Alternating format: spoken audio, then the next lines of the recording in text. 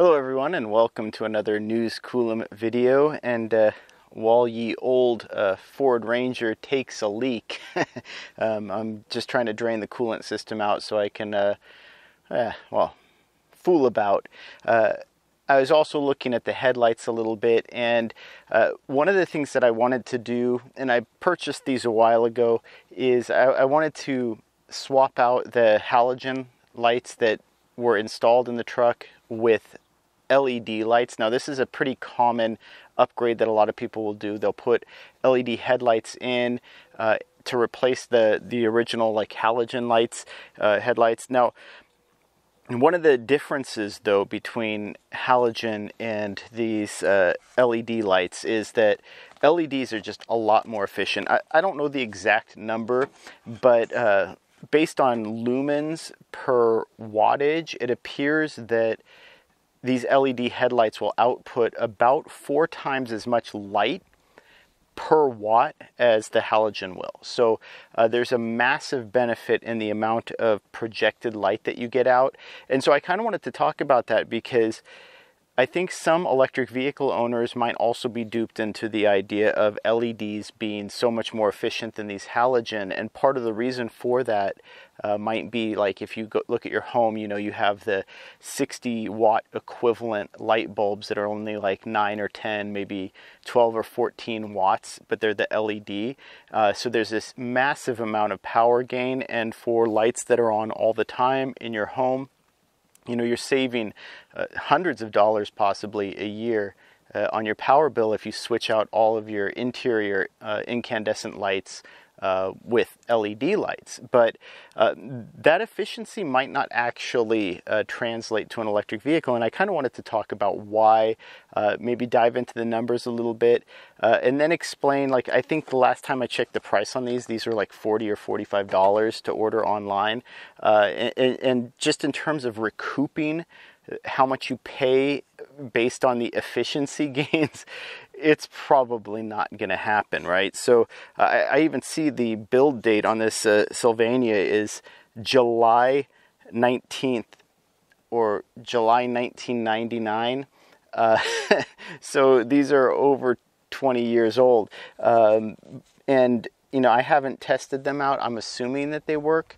Uh, you know most of this vehicle there's there's only like 30,000 miles or whatever on this truck. Um, but uh, you know replacing these would be a lot cheaper than replacing with LED um, but there is that energy gain but how much is it really? Uh, well remember what I said initially is it appears that there's about four times as much light uh, per unit of power that you that you use. And so these, based on the numbers that I found, and I can't validate this, but this also works just to kind of simplify the math, is that these uh, take about 40 watts per bulb. So combine the two headlights uh, take about 110 20 uh, watts to uh, to operate. So when the headlights are on, you're drawing 120 watts that comes out of your 12 volt battery uh, that has to be recharged by your traction battery. Uh, these take about 60 watts for the pair. So literally half the energy to run these as to run the original headlights, the halogen headlights from this Ford Ranger Electric. But what does that mean in terms of real world numbers? And I'm going to give just some basic examples and I'm going to round off the math so uh, it, it's just a little simpler to understand. I understand that there's probably going to be a, a very subtle differences in, in real world and the numbers aren't going to be exactly uh, right. Uh, but at about 45 miles an hour, this Ford Ranger should do about 4 miles per kilowatt hour, a little bit better than that. Uh, that consumption translates out to about 250 watt hours per mile. So if you drive for 60 minutes, an hour, uh, you're going to go 45 miles and you're going to use 11.25 kilowatt hours. Now, if you take these and replace them, uh, and, and say that was using these right? The headlights were on for that hour that you were driving. If you replace them with these uh, LED lights, well, now you can basically take 0.06 kilowatt hours off of that, right? So now it's taking you 11.19 uh, kilowatt hours to drive 45 miles. Well, when you really break that down, your watt hours per mile you're only saving maybe one one and a half watt hour per mile. So you're going from four miles per kilowatt hour uh, to like 4.01 4.02 something really ridiculously small in terms of, of the amount of gain. It's it's going to be very very small and that's driving 45 miles an hour. That's a very efficient speed. As you increase the efficiency right the, the impact will uh, become greater.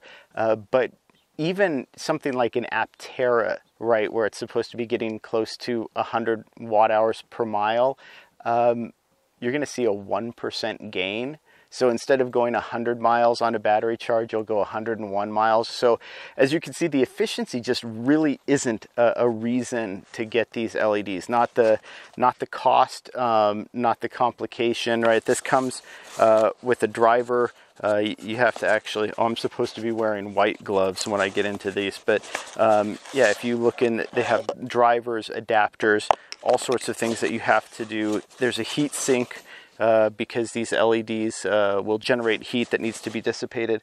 So there's a lot of complication as opposed to this bulb that basically just works, right? And is a lot cheaper. So you're never going to recoup it in terms of money. So why would I still get LEDs? Well, there still are reasons beyond that efficiency and efficiency gain because, like I said, four times the light um, for the same amount of power. So these are half the power, but that means they're still double the illumination. So uh, these should should provide about twice as much illumination uh, for the 60 watts that they draw as um, these were providing for the 120 watts that they, they draw. And that's important, right? Because if these are not going to light the road well, and, and I actually got a very modest pair. I think some people overdo it in terms of LED lights, blinding oncoming drivers, things like that, things that you don't want to do. And then the other aspect of it too is the type of light that these project is a different temperature. So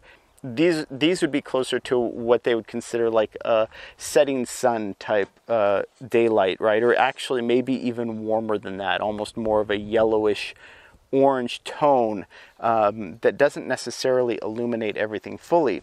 Whereas these are 6,000 to 6,500 Kelvin. So this would be about 3,000 Kelvin. These are about 60 500, 6000 to 6500 Kelvin.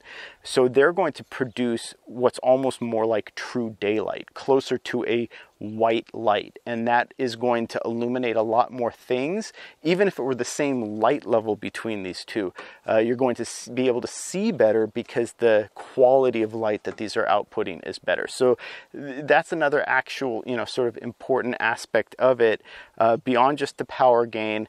Um, it's it's just nice to be able to both illuminate better and to have the light that you're using be better. So I'm really rolling up my sleeves with this Ford Ranger. I'm doing a lot of work on it right now. Not a whole lot of stuff that I'm sharing in terms of videos, unfortunately, uh, but I'm hoping to get it up and running very, very soon. Get it out on the road, get it driving around, and then I can, I can really kind of dive into the actual experience of maybe using these better headlights uh, that weren't really available 20 years ago when this truck came out. Um, and uh, you know just all of the other minor changes things that i'm doing uh, derusting the frame putting a new bumper on there and like i said fidgeting with the cooling system. So there's a lot of stuff that i'm doing right now.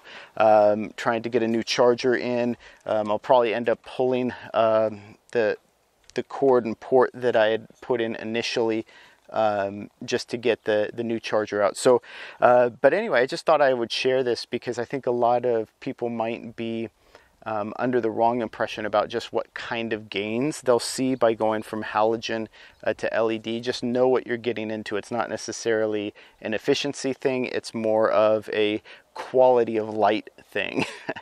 uh, quality of light. So, um, yeah, it's it's uh, yeah. I just wanted to share. So, like I said, hopefully these integrate well. I'll work on putting them in and kind of cover how how I install them, how I take them out. Um, there's some interesting things with the the Ford Ranger Electric that uh, you know brings me back to the days 20, 30 years ago when I was working on Ford trucks a lot. A lot more than I have been recently. So um, yeah, this is uh, I'll, I'll try to share as I as I go along. But anyway, just wanted to do a quick check in, and I uh, hope that was helpful. I hope it was illuminating, and if uh, you enjoyed it, please uh, like and subscribe. It really helps out the channel, and thank you for watching.